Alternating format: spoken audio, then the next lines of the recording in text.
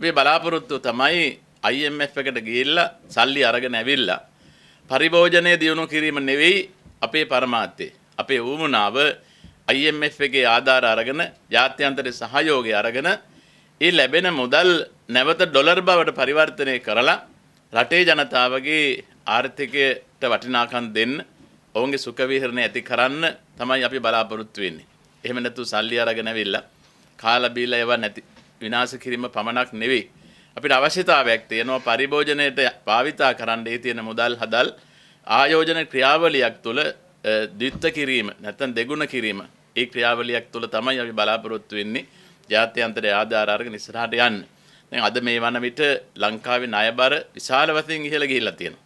ඔබ දන්නවා ලංකාවේ එක පුරවැසියෙක් මිලියන ලක්ෂ 10ක විතර ණය මුදලක් තියෙන වෙලාවක බිලියන 23000ක සමස්ත ණය බරක් එක කටයුතු කරන වෙලාවක විශේෂයෙන් ඒ වගකීමත් අපිට පැවරෙනවා. ඒ හින්දා අපි එක පැත්තකින් ණය ගෙවන්න ඕන.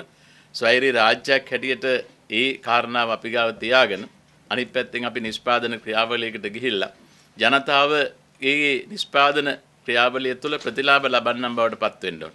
අපේ අරමුණ තමයි ඊගාව මේ රටේ කෘෂිකාර්මික අතින් සංවර්ධනය කිරීම. ඒ වෙනුවෙන් අපි මහකන්නය භාවිතා කරලා යලකන්නේ අපි යුරියා පොහොර ටික ලැබලා දුන්නා. ඒත් ඒක අපි 100%ක්ම භාවිතා කරන්න බැරි වුණා මහ පොළවේ. ඒ හින්දා අස්වැන්න නිසි විදිහට ලබා ගන්න බැරි වුණා.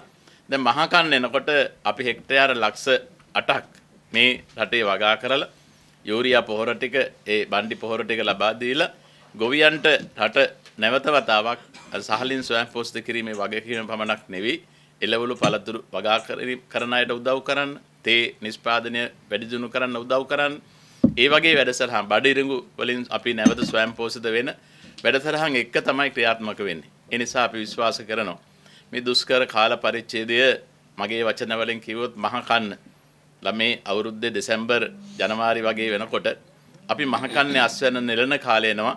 ඒ වෙනකොට මේ රටේ ජනතාව ආහාරයෙන් ස්වයං පෝෂිත වෙන තැනකට ගේන්න පුළුවන්. ඒකට අවශ්‍ය පදනම හැදීම තමයි කෘෂිකර්ම ඇමතිතුමා ජනාධිපතිතුමා අගමැතිතුමාගේ උපදේශ පරිදි අද ක්‍රියාත්මක කරලා තියෙන්නේ.